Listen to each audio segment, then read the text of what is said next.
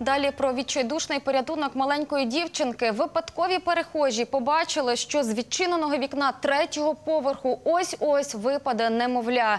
Люди відразу кинулися на порятунок. Для цього їм довелося підігнати газель під будинок, вилізти на дах вантажівки та ще й залізти одне одному на плечі. Дитину щасливо зняли з відчиненого вікна. Як з'ясувала поліція, мати залишила її вдома під наглядом шестирічного брата, а сама на півгодини подалася до поліклініки.